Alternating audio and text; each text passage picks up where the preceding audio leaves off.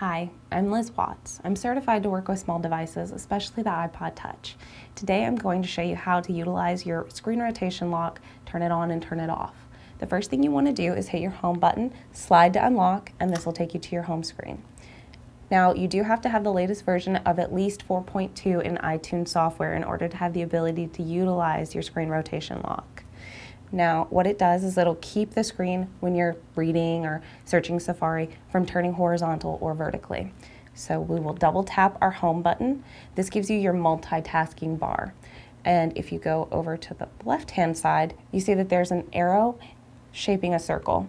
If there is a lock that appears there, that means that your screen rotation lock is on.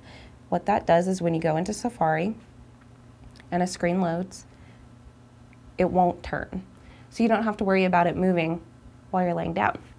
Now let's say that you do want it to rotate.